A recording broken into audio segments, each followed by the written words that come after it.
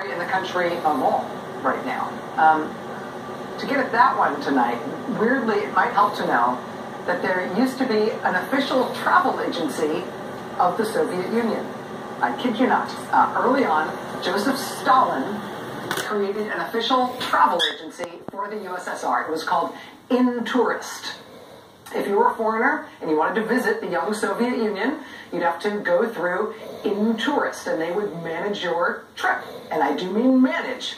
They managed hotels all over the Soviet Union, all these Intourist hotels.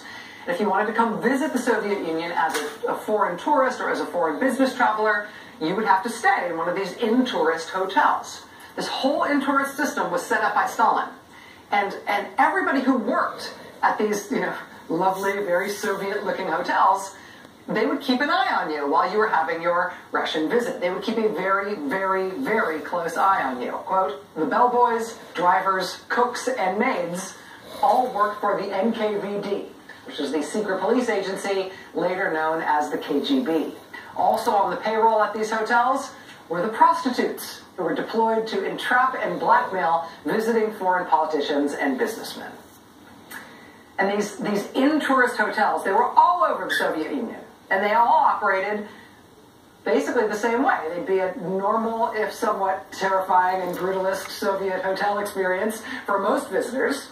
But if some foreigner came through who was potentially influential in his or her home country, some decision maker who might be useful to the Soviet state at some point, well then, then they would basically deploy their intelligence assets. They would deploy them to the foreigner's hotel room.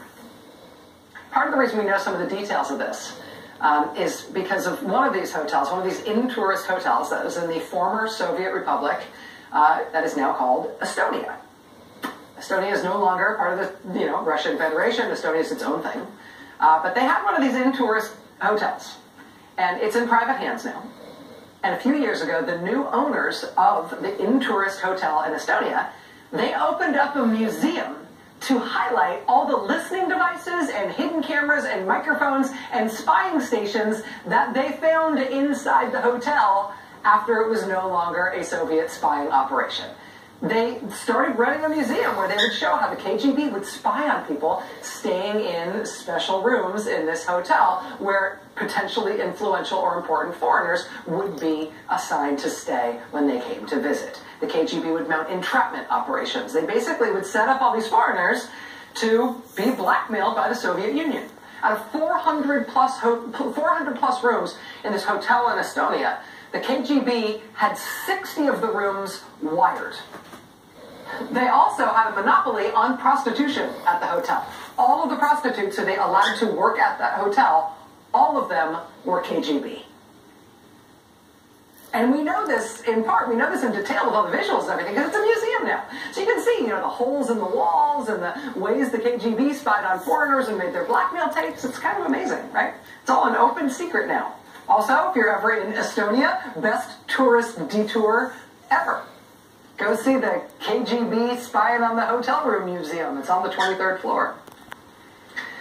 And of course, now